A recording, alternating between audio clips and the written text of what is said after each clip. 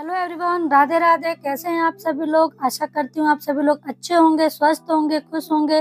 मैं भी यहाँ पर स्वस्थ हूँ, ठीक हूँ और मज़े में हूँ। तो फ्रेंड चलिए आज की वीडियो में आप लोगों के साथ शेयर करती हूँ। तो अभी जो है वो मेरे सारे काम हो चुके हैं और बस मैं दोपहर का खाना ही बना रही हूँ। आज दोपहर के खाने में मैं बना रही हूँ इडली, सांभर। तो अभी ना मैं सांभर के लिए तड़का डाल दूँगी। तड़के में मैंने तेज पत्ता जीरा, हींग और दो खड़ी लाल मिर्च डाली है और बस मैं साथ ही साथ इसका तड़का लगाऊँगी, बाद में नहीं लगाऊँगी। फिर इसका ना थोड़ा सा जब ये चिटचिटा जाएगा और फिर मैं इसमें डाल दूँगी थोड़ा सा कटा हुआ प्याज। सब्जियों में मैंने ली है कद्दू, लौकी और बैंगन, क्योंकि बस यही सब्ज़ियाँ डालकर मैं बनाऊँगी। और एक साइड देखिए फ्रेंड्स, जो दूध आ गया था, मैंने दूध भी रख दिया है गर्म होने के लिए। सारी सब्ज़ियाँ मैं ऐड कर दूँगी। और यहाँ पर है ना, मैंने सबसे पहले जो है ना तूर दाल, जो कि अरहर की दाल है, उसको मैंने भिगो कर रख दिया था थोड़ी देर के लिए। और बस सब्ज़ियाँ वगैरह मैंने डाल दी है इसमें, और इसको थोड़ी देर अच्छे से भून लूँगी मैं। और फिर इसके बाद मैं दाल ऐड कर दूँगी, और फिर इसको बस ढक के मैं सारे थोड़े थोड़े से मसाले ऐड करूँगी, और थोड़ा सा मैं इसमें सांभर मसाला डाल दूँगी। तो देखिए, ये ना मैंने सारे मसाले जो मैं एक अलग से बॉक्स में करके रखती हूँ तो बस मैंने उसमें से थोड़ा सा इसमें सांभर मसाला ऐड कर दिया है और बस मैं इसको पकने के लिए रख दूँगी। और यहाँ ना एक साइड जो है वो मैंने इडली रख दी है बनने के लिए, साथ ही साथ बनता भी रहेगा। तो बस बीच बीच में ना मैं इसको चेक भी करती जा रही थी कि मेरी इडली तैयार हो गई है कि नहीं, क्योंकि बस मुझको उसको बदल कर दोबारा भी रखने था।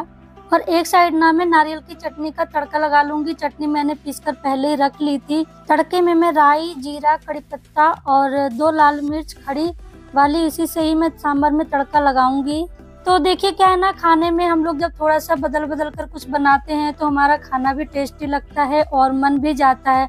अगर हम एक ही तरह का खाना रोज खाते हैं, वही दाल, चावल, सब्ज़ी, रोटी तो थोड़ा सा मन भी खराब ही हो जाता है। तो ये लगता है ना कि आज खाने में कुछ अलग और कल के खाने में कुछ अलग, बस ऐसा ही चलता है हम सभी का। तो हम गृहिणियों को ना खाने का भी बहुत ध्यान देकर ही बनाना चाहिए, क्योंकि क्या है खाना ही एक ऐसी चीज़ है जो हमारे स्वास्थ्य को भी स्वस्थ रखता है और हमारे मन को भी।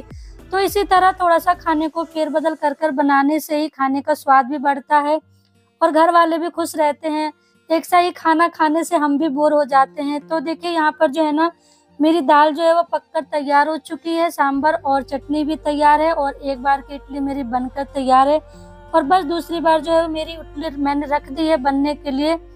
तो यहाँ पर जब तक मेरी ना इडली वगैरह बनती रहेगी, क्योंकि क्या है इडली बनने में तो थोड़ा सा टाइम लगता ही है एक एक करके धीरे धीरे ही बनती है। तो यहाँ पर जो भी मेरे बर्तन थे ना, वो मैं पहले इनको क्लीन करके रख दूँगी, जिससे मेरा काउंटर टॉप भी क्लीन हो जाएगा साथ ही साथ। तो साथ ही साथ काम करने में ना क्लीन करने में या जो भी कुछ आपका एक्स्ट्रा काम है, उसको अगर हम करते जाते हैं तो हमारा काम बहुत जल्दी भी होता है और उसमें ज़्यादा वक्त भी नहीं लगता है हमको। क्योंकि बस बच्चों के भी आने का ही टाइम हो रहा था तो बस मैंने सोचा था देर से ही बनाएँगे थोड़ा सा तो आराम से बच्चे भी अपना आएँगे जब तक गरम गरम भी रहेगा। और यहाँ क्या है ना फ्रेंड्स गरम गरम इडली रहती है तो थोड़ा सा निकालने में दिक्कत होती है तो बस मैंने ना इसको एक बर्तन में पानी ले लिया है, जिसको मैं इसको नीचे से जो है ठंडा कर दूँगी तो ये थोड़ा सा जल्दी भी निकल आएगा और आसानी से भी निकल आता है तो ऐसे में क्या है ना हमारा काम जो है आसान हो जाता है। तो बस यहाँ पर एक जो है वो मैंने पहले ही ठंडा कर लिया था तो बस ये निकल गया। अब मैं दूसरा भी निकाल लूँगी ऐसे ही करके। मैं सारी इडलियों को तैयार कर लूँगी। तो बस यही है, अभी बच्चे भी आने वाले हैं तो बस सभी लोग मिलकर साथ में ही खाना खा लेंगे। पापा भी इनके घर पे ही हैं आज तो सभी लोग साथ में ही खाना खाएँगे। और अच्छा भी लगता है ना कि बच्चे आने वाले हैं तो फिर क्या ही पहले खाओ। मैंने इनको बोला था, लेकिन ये कह रहे थे कि अब सभी को आ जाने दो तो संग में ही सब खाना खाएँगे। तो बस अभी फ्रेंड्स सभी लोग आ चुके हैं और बस सबकी थालियाँ मैं लगा लूँगी और बस सभी लोग संग में ही बैठकर खाना खाएँगे।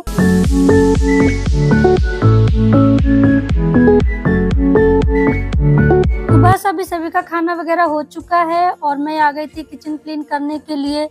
मैं ना सोच ही रही थी कि पहले किचन की सफ़ाई कर लूँ, फिर खाऊँगी, फिर सभी का साथ था तो मैंने भी संग में ही खाना खा लिया। बस उसके बाद ही अब मैं किचन काउंटर जो है मेरा वो मैं क्लीन कर लूँगी और बस उसके बाद तो अभी बर्तन वगैरह जो है वो मैंने धो के रख दिए हैं सूखने के लिए। जब वो सूख जाएँगे तो मैं शाम तक उनको उनकी जगह पर लगा दूँगी। तो क्या है ना, जब हम लोग कुछ स्पेशल बनाते हैं या कुछ भी ऐसा बनाते हैं तो बर्तन भी फ्रेंड्स बहुत सारे ही निकले आते हैं। तो चलिए यहाँ की तो सफ़ाई मेरी हो चुकी है और बस उसके बाद थोड़ा सा रेस्ट करते हैं और आधे घंटे रेस्ट के बाद फिर देखते हैं क्या काम करना है मुझे। तो अभी ना आधे घंटे रेस्ट करने के बाद मैं वापस से आ गई थी और बस यहाँ पर जो मेरा बेटा है वो टीवी देख रहा था। टीवी में कार्टून ही देख रहा था तो बस मैंने सोचा मैं भी अपना यहीं पे बैठे बैठे काम करती हूँ। तो ना ये मेरी साड़ियाँ रखी थी, पुरानी थी दो तो बस मुझे लगा कि इनका कुछ यूज़ कर लें। तो मैंने सोचा यूज़ में क्या ही करेंगे, इनका एक आसन ही तैयार कर लेती हूँ, क्योंकि अभी गर्मियों का दिन है तो दिन भी बड़े होते हैं, कितना ही सोएँगे हम लोग। क्योंकि डेली तो हमारा इतना ज़्यादा काम नहीं होता है कि हमारा पूरा ही दिन लग जाए। कभी कभी ऐसा हो जाता है। तो बस मैं फ्री थी तो आराम करने के बाद मैंने इसकी, इसको ही बिनना शुरू कर दिया। और अब देखते हैं ये बिनते बिनते मेरा कितने दिन में ही ख़त्म होता है। तो जब मेरा ये पूरा हो जाएगा ना तो मैं आप लोगों को ये दिखाऊँगी कि जो मेरा आसन है वो किस तरह से मैंने बनाया है। तो ये देखिए, कल जो है ना मैं मार्केट गई थी और बस मार्केट से मैं ना ये बॉटल लाई थी और ये बकेट लाई थी पौधों के लिए। क्या है, खिड़की पर मैंने जो मनी प्लांट लगाया था, उसमें धूप लग रही थी तो वो बहुत जल्दी ही मुरझा रहे थे तो बस मैं ये ले आई थी और मैं इसको यहाँ पर लगा दूँगी और इसी में मैं अपने मनी प्लांट को रख दूँगी। तो अच्छा लगता है ना, जब हम कोई भी चीज़ नया करते हैं तो बस मैं नए में यही चीज़ लाई थी और मुझे बहुत खुशी हो रही थी। बस मैंने इसको यहाँ पर सेट कर दिया है और अभी शाम का टाइम हो रहा है तो थोड़ा सा चाय भी मन हो रहा है पीने का तो बस मैं चाय बना लेती हूँ और साथ ही साथ जो मेरे कुछ काम है मैं उनको भी पूरा कर लूँगी।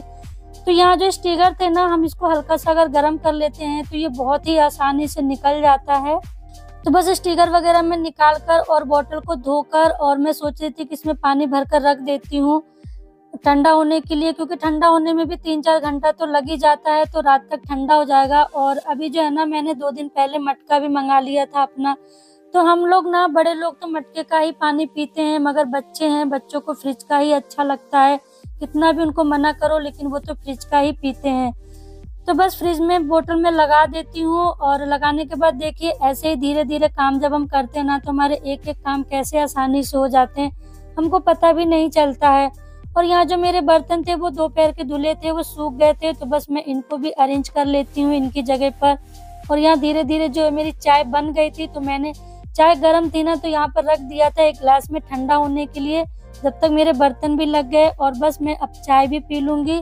तो चाय पीने के बाद ना फ्रेंड्स थोड़ा सा और काम है मुझे, मैं वो भी कर लूँगी। तो चाय पीने के बाद देखिए, मैं चल रही हूँ, अब मेरे पौधों में पानी डालना है मुझे, क्योंकि शाम का टाइम हो रहा था। तो शाम को भी पौधों में पानी डालना ज़रूरी होता है। सुबह तो डालती ही हूँ, साथ ही साथ में शाम को भी डाल देती हूँ। क्योंकि गमले में पौधे हैं ना, वो जल्दी ही हमारे सूखने लगते हैं। ज़मीन के पौधे वो अच्छे होते हैं। ज़मीन में उनकी ग्रोथ भी अच्छी होती है, मगर ना गमलों में हमें कुछ ज़्यादा ही केयर करनी पड़ती है। तो बस अभी मैं अपने सारे पौधों में पानी डाल देती हूँ। तो बस पानी डालने के बाद ना अभी शाम का अच्छा मौसम है, हवा भी बहुत अच्छी अच्छी चल रही है तो बस अभी मैं थोड़ी देर के लिए चल, जाऊँगी ऊपर और बस आधा घंटा थोड़ा सा घूमने, टहलने के बाद फिर मैं आऊँगी नीचे और फिर उसके बाद शाम के खाने, बस शाम के क्या रात के खाने की तैयारी में लग जाऊँगी।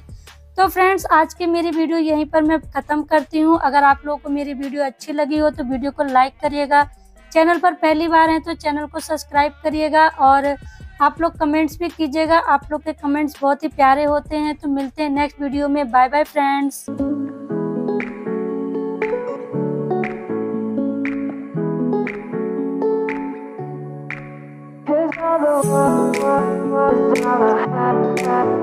Baby,